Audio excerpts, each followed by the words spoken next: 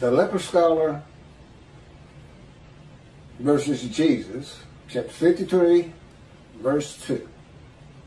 For he has grown by his favor like a tree crown, like a tree trunk out of arid ground. He had no form or beauty that we should look at him, no charm that we should find him pleasing. This is another reference to the righteous servant initially being repulsive to the Jewish people, though finally accepted by many, and then a multitude of them, those that are made righteous.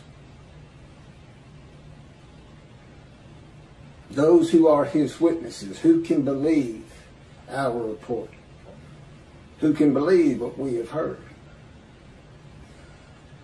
In Isaiah 52, 13 through 15, He's described as so marred in his appearance, unlike that of man, his form beyond human semblance. But even so, he startles many nations, and kings are silenced by him, and he is exalted and raised to great heights. So here in verse 2, it says he had no form or beauty. In verse 14, his appearance is so marred beyond human semblance. It's one of two things. He's been afflicted by God in these verses. And affliction can be disease. You can be afflicted by God with disfigurement at birth. King David would have nothing to do with the blind, the lame, the crippled. You know, unlike Jesus. because the belief in those days was that God did not like these people. And so they, he didn't want to be around people that God didn't like. So he just had nothing to do with it.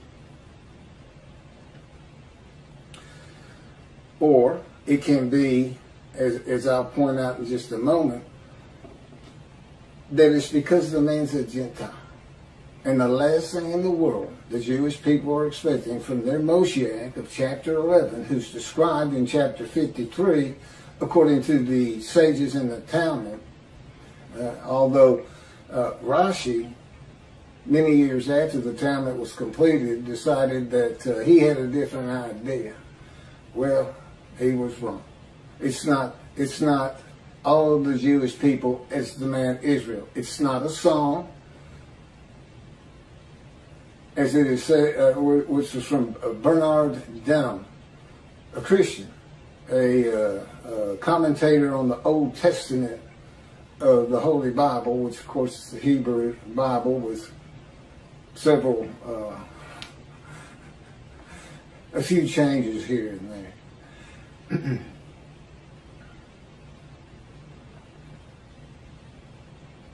and, and that alone, that, that, that makes, you know, that don't, it's an extreme, more behind uh, beyond uh, human appearance, and this is unlike that of man. He just doesn't look like other people to the Jewish person. They like to look upon their own. They have a Jewish state. They like the Jewish people, and they want their savior, so to speak, their Moshiach, the one who's going to bring this great exaltation and redemption and messianic era of perfection in the world, no flaws no faults, no sin, no pain, food for everybody. This ut- uh, utopia. And it's not the only re- religion to have that. They kind of all seem to end that way. Or have, uh, everything's going to be wonderful for us because we're right. Well, this man grows by the favor of God like a tree crown and again, this is continuing the symbolism of an ancestral tree, this, this stump of Jesse from chapter 11. Once again, God is using, as he has this written, as Isaiah write this, this man grows like a tree crown. So this is the great heights because a dominant tree crown reaches over all other plants in the forest including the crowns of other trees. This man's lifted up high. This man whose appearance is marred, he has no form or beauty. We did not find him pleasing. It all changes. It all changes. A lot of it is just disbelief that God is actually doing what he said he was going to do, and he's doing it when he said he was going to do, unlike Jesus Christ. Jesus Christ prophesied his return by, by the measurement of lives and being. His generation, people alive when he was born. Everyone alive when Jesus is born, that's his generation. When they're all dead, his generation is over. He gathers his twelve. There are those amongst you who will see me return. You know they did. You high priest, you shall see me return. No, they didn't. You, the people of Caesarea, there are those amongst you who will be alive when I return. No, they weren't. They're all dead. My favorite, the book of Revelation. Speaking through an angel to the writer of the Revelation, those, this is Jesus, those who pierce me with the spear shall see me return. No, they didn't. There's, there's five of them. There's, that's five false prophecies. The other is his generation. He, he, his prediction of his return with all this calamity in the world. There's a, a chapter. It's got like 52 verses. He tells his, he gathers his, his, his 12 or some of them, and he's telling them all this. This is going to happen. The temple's going to be destroyed. Um, on and on. And those are the things that Christians look for, for his return which, as I said, he used lies in being, and he uses it in that chapter. The last verse says, My generation shall not pass until all these things occur. Some of them actually did occur, but he didn't come back. And it wasn't all of them by any stretch of the imagination. False prophecy, false God. And what else did he say? Last page of the Revelation, three times. I am coming quickly. I am coming quickly. I am coming quickly. Three different verses. That's what he's saying. Why? Because he knew he hadn't done what the Moshiach's supposed to do, which is defeat Rome. I believe he felt he had to die, become God, come back, and then he could defeat Rome. Because on the cross, he found out he was wrong about everything this man of Isaiah 53 as he proclaimed it as all Christianity believes today. The belief that Isaiah 53 says a man is crucified and by his blood we are saved and sinless and go to heaven. Which isn't in Isaiah 53. The man's given long life, he makes the many righteous by his knowledge. If the arid ground is in a Christian country and his form was a Gentile, under the Jewish law, the halakha, would he be attractive and pleasing to the Jewish people? Not at all. But if he comes from a Christian country with God to Israel and converts Orthodox Judaism and becomes an Israeli citizen, the many who become a multitude made righteous will most likely look favorably upon him. And I think they will.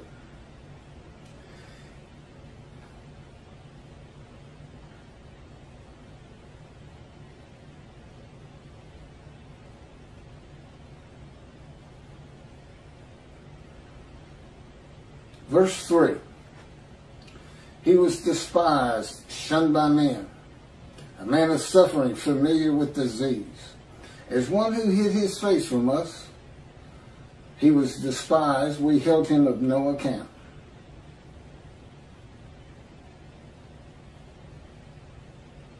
He will be despised and shunned and held no account simply for declaring that he is the Lord's righteous servant described in Isaiah 53, particularly being a Gentile and from an arid land. Christianity with God's wrath passed to them in Isaiah 51.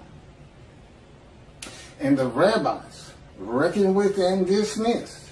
And of course, God is using his righteous servant for that purpose in the day of the Lord. It's part of the day of the Lord. It's his vindication, his revenge. Uh, where that fits into the Messianic era, I don't know. You know, that whole, it's selective. It's well, we like this. We, we, we, we like it that a, a man of 100 years is going to be but a child. We like everybody to be perfect. We like everybody to uh, destroy their weapons and um, come and take care of us with the money they had. You know, it was break down our plow, uh, their swords into plowshares and till the ground for the Jews. Well, how about we come deliver atomic bombs? How about Russia? They got quite a bit of them. You want them to come and break them down into plowshares? Sure, it's a metaphor.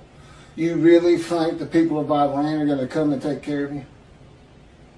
It's selective because you leave so much out. Where's the day of the Lord? Where's his vengeance? Where's his wrath on Christianity? You you you say that I, as Moshiach, am going to go and convince two billion Christians that the Jews been right all along and that there is no Jesus. It never was. And no, no one died for their sins. They're going to be responsible for their sins. Now, that isn't what you think, is it? You think God's going to come down and change the minds of every human being on this planet. For you because you suffered. Well, he's making a heaven just for you. And if anybody wants to be a part of that heaven, including the Christians, Islamists, Buddhists, anyone and everyone with a different false God, they're going to have to convert to Judaism and become a Jew. And that includes your Moabites, Noahites, or Ides, Noahites. you know, they want, and your Messianic Judaism folk. You know, if you want to practice Judaism, be a Jew. It's that simple. Because God is building a heaven with the name Israel endures. He flat out says it. it's just for them. That's your reward. You're not getting a Messianic era. Those are verses just for the people of antiquity, and illiterate, ignorant society that love, like children who love to be told stories. The bigger the story, the better. And the story of Jesus, I'm quite sure, was one of the most popular stories a story that started a hundred years before his birth, if you look at where the symbolism comes from. The Essenes, the writers of the Dead Sea Scrolls, their founder, his very name is the teacher of righteousness, just as Jesus is thought of the man of Isaiah 53. They had their own gate at Jerusalem and they had it all the way to the destruction of the second temple in year 70 common era. You think they didn't hear this story about Jesus? Nobody ever wrote a single word about him until 40 years after his death. The Gospel of Mark, 40 years after. And what was happening then. And so that story had been going on for 170 years. It's a great story. It's got all kinds of miracles and walking on water and raising dead. Things that people of that time, they just like believed in those kind of things. Resurrection of the Dead. We all love zombie movies. You can just turn on the TV and get one, so we must love them. I've watched many of them. But I don't believe you can raise dust, if there's even dust left, of the Israelites who were slaves in Egypt. And yet, that's what Rambam says is going to happen. Every single Jew who has ever lived will rise up. What about the evil bad ones? Do they get risen up? I never saw an exception to it. What about the rabbis dismissed?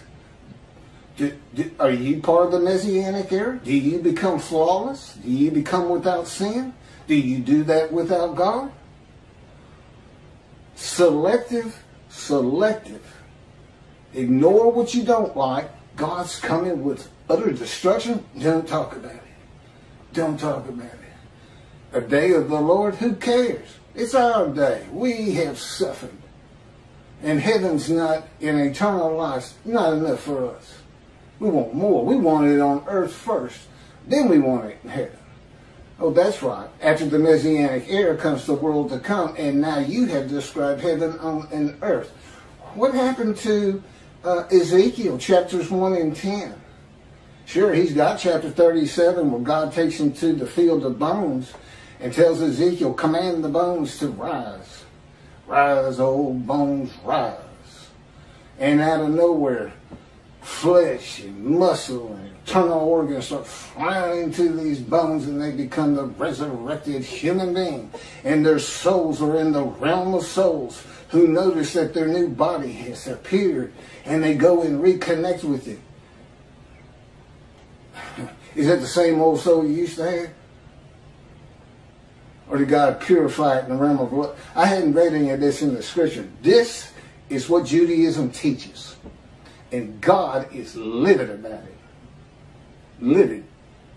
Because we are in the age of reason, enlightenment, knowledge, science, medicine. We're supposed we're supposed to know what these poor people who had to live in that time didn't know. Some things just can't happen. That's why the rabbis reckon with and dismiss shall see what has not been told them, shall behold what they never have heard. You just heard it. Who am I? Rabbis, because you're going to have to recognize me. You're going to have to recognize these teachings. You're going to have to recognize the two books that God had me type. You're going to have to recognize it and take it to your flock. You're going to have to straighten out your errors in interpretation and teaching to get back in right standing with Him. And He can use you. He can use all your followers. He can use the new teaching being more relevant to the real world for the young people to come back to Judaism. Part of Elijah's job. Part of the job of the righteous servant of God. He does want you. But this is God we're talking about. He's not, he's, he's not going to make it easy on you. You, he, you know, he never leaves the Jews. He never has, even though he says, even your spokesperson broke my covenant. That would be Moses. he says, you all broke it. But I married you anyway. The Christians say in that very verse right there, there's another, in the book of Hebrews, another deceitful act on the part of the Christians. The writer of that book says, right there, he's talking about the new covenant. And he's instead of and he espoused them, he says, and he abandoned them. They just change it. You know, it's you know with the deceits of Jesus on on on the prophecy and what the prophet said about him entering Jerusalem for what they call the Last Supper, where he's supposed to not only defeat Rome but be anointed king from sea to sea and from ocean to land's end. I think they're describing the entirety of the world with that. That's what's supposed to happen. That's what the scripture says. It's got nothing to do with being crucified. Nothing. All the prophets say of me, and yet not one did. And then you got this kind of see. God left you. Paul did the same thing. God left you because you sinned. He came to us. He came to us, but he's forgiven our sins. So we can keep sinning. Do you know, God took me when he's teaching me the New Testament to one of the mega churches here with Joel Osteen. It's a great place to go in a hot summer, I'll tell you that. They got great air conditioning. But uh, this guy, this uh, leader of the church came up to me and said, uh, you know, if you accept Jesus Christ as your Lord and Savior, you are forgiven of every sin you have ever committed. And here's what you don't know. You're forgiven of every sin you're still going to do. Because Jesus knows you're going to do it. Well, thanks for the carte blanche. Go do whatever you want. so I don't have to quit sinning at all. You know, because I'm a sinner and, yeah. You know. this is the person who believes God performed human sacrifice for him. Okay. You know, remember, I was an atheist for 50 years. I hear things like this and I just, you know, what are you, what, what, is, going on in the world? I'm a lawyer. I've, I've seen all kinds of people. I've represented all kinds of people. But until I really got amongst the religious Christians, and God made me, He made me watch every Christian channel there is till I knew everybody. I'm like, yeah, can I watch a thriller or mystery or something? So anyway, I'm gonna carry on. Um, Gentiles will despise and shun the man who startles the nations, and silences their leaders, for announcing that he is the anointed one the Jewish people have been waiting for, and that Jesus cannot possibly be the man described in Isaiah 53. The Jewish people will despise and shun me for the reason they expect and have been taught that the anointed one is Jewish, not a Gentile. And the era of exaltation, redemption, and restoration of the Messianic era they have been taught will not be occurring. It is the nature of people to reject, despise, and hold of no account a man who has no visible proof to substantiate his claims that God speaks to him as God spoke to Moses, that he is a man prophesied to come in the Hebrew Bible, that he is a messenger and deliverer of covenants of God, and that the Spirit of the Holy God has alighted upon him. I have but the one proof I mentioned in verse 1. I offered myself to guilt. I was supposed to be dead within a month or so, 20 years ago. And I have no, lung cancer doesn't disappear. lung cancer, they said they couldn't even treat. And I had absolutely no symptoms. Now I haven't been x-rayed again, but God tells me it's just simply not there. You saw those white spots. If you did have an x-ray, you wouldn't see them today. And it doesn't matter to me. I don't have any symptoms. I'm doing just fine. And I've got long life, and I can already tell. See, he won't tell me the future. I'm not a prophet of the future. I'm not a seer. No man is. No man can see the future. God knows and can make prophecy because of his absolute knowledge of all things. He can think things through and go, okay, then this is going to happen. This is going to happen. This is going to happen. He knew when he wrote, had Malachi write the day of the Lord, that the internet was going to be here. Because he needs it to get this message for the Jews, for their redemption. For the Jews to stand up and go, see, who we told you. It's the leper scholar just like our sages said. And he he's telling the Christians why we don't believe in it. And God is going to build his temple again. And the scripture said that means he sanctifies Israel and us, the Jewish people. In my opinion, this is better than the Messianic age. Because does a Jew really want the world to be a Jew? Because I know you feel special about it. God took me to a conservative synagogue uh, the largest one in uh, the largest conservative synagogue in the world that's here in Houston. And um, I went through the high I went through the conversion class. Uh, now he's already told me you're going to convert Orthodox in Israel, but he had me going to the synagogue, and I went to the conversion classes uh, for a while. And I did go through all the uh, holidays. I loved it. I loved the people. They were so kind and nice to me and uh, learned so much. Went through the Yom Kippur services, everything. And of course, God's with me the whole time. I mean, that's what's so nice. Plus, His power's on me. If I got a little bored, He can make me just tranquil and patient. and He's good about that. Uh, when we're really working and it's not, He's not working me over, so to speak. But, uh, I, I, mean, I found out they they you the Jewish people are very proud of being a Jew. And uh, do you want everybody in the world just like you? How about this? How about 98% of the world would be Jews who converted to 2% of the naturally born halakha Jew? How you like those numbers? To me, I start, I might even worry a little bit.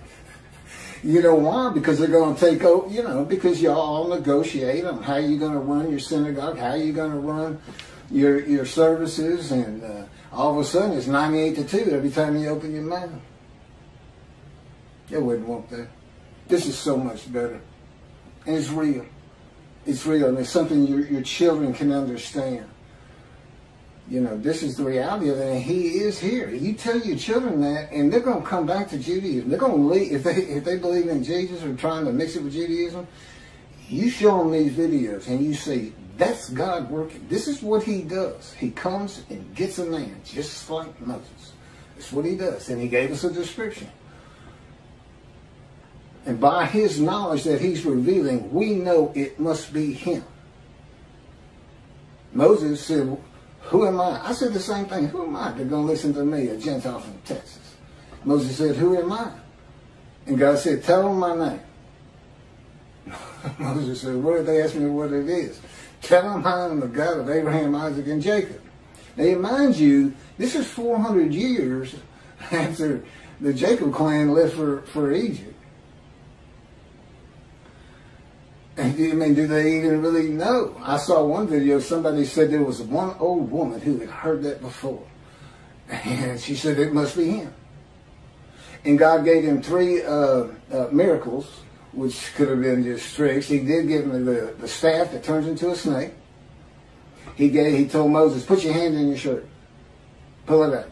Leprosy. Put it back in. Pull it out. Gone remove leprosy, just like he can remove cancer, apparently. In other words, I got one of the same miracles. And then take a drop of water from the Nile and drop it down. I think it says in the same, and it shall turn to blood. That's it. And he had Aaron with him to try to back him up. I don't have anybody. I've always been kind of a loner. I got the Holy Spirit. My best friend.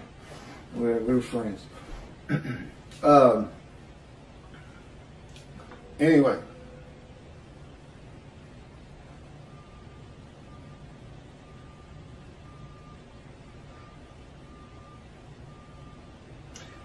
Jesus, a man of suffering. This is what's being described, you know, in this verse. A man suffering from with disease. Jesus wept one time. It's the shortest verse in the Christian New Testament. Jesus wept. That's it. Jesus wept. Why? Because he was because he had just raised his friend Lazarus, who had been dead four days. You know, Jesus was dead three days and he rose. Lazarus had been dead four because Jesus was late getting there. And but, he, but, but he wept because still nobody believed who he was which I suppose means, and I see I've heard them talk about this, uh, that, that he was the man of Isaiah 53. Or, be, right, or because of the miracles he was performing, he was God. Uh, he does indicate that in many a verse. I am God. But uh, I, I, don't think he ever actually just says it like that. It's, it's just implied. But in any event, that's, that's not a life of suffering. And as far as wounded, and, and all you have is he got whipped and he got nailed to a cross. And at the end of nine hours, he yelled to God, Why'd you forsake me? And then he, quote, gave up the ghost. He didn't even die, apparently. He just let his spirit go without him. I guarantee there's many. If God had given us that power, people would be dropping all over the place. I can't take it anymore. I'd rather be dead. Boom. There goes your spirit, which is the ghost. He gave up his ghost. He quit trying. And you're talking to a man who laid in the back of an ambulance for eight hours, gut shot, hanging on with everything I had. The only thought in my mind was, you have got to hurry. And I was still saying it in the shock room of Ben Taub Hospital. You have got to hurry. But anyway, I pulled through. And went on to run track that year. I got shot October 5, 1975. And uh, in early February, I, I, won a high hurdles race in a comp very competitive district in Houston. Any event, It was tough getting back, but I, I enjoyed the struggle, the suffering of trying to achieve, which it's that suffering of the Jewish people that makes you so successful, is what God tells me, and I believe it.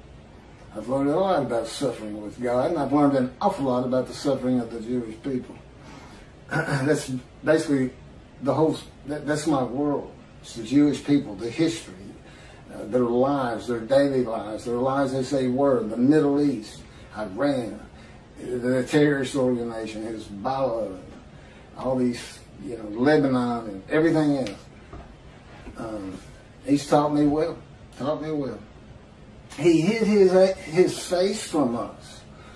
I'm reading from my from a midrash, my midrash on 53. That's in um, Isaiah 53 in the day of the Lord. Who hid his face from us. In other words, I'm taking sections of the verse and explaining each one of them. He was despised, we held him of no account. Okay, well, a man who is despised and held of no account is not going to go out among the people. You know, until the perception of, his, of him changes, and he's asked to, which hopefully my books are going to do for me. People are going to say, this, he, didn't, he, couldn't, he couldn't know these things. There is a proof. We're the Jews. We've been expecting him. We believe God will do what he says he's going to do. But uh, at least in social media, have been kicked out of many a group just for suggesting Isaiah 53 might be Isaiah. I mean Elijah. I didn't even bother saying, what if he's a Gentile? it might come after me. I don't know. You can't talk about it. As Tovia Singer says, okay, okay, okay. Just what he says meant. I didn't, I didn't do that. I didn't do that. Okay, this is certainly not Jesus. He never hid his face. He's outside, legions of followers. He was never confined to his home like Ezekiel and me in this room. I got taken from society just like Ezekiel. You're not going out with anybody anymore. No friends, no nothing. Uh, just me. God says, just me and my, my spirit. It's been a long 13 years. um, yeah, Jesus, he was never despised. He was always held in high esteem. Sure, some of the, the religious leaders had it in for him. They didn't like what he was saying. And they could tell he wasn't going to be the Messiah, that he was supposed to be, Messiah that he wasn't going to be the answer to the, the Roman occupation. Uh, but that wouldn't that that wasn't the general population.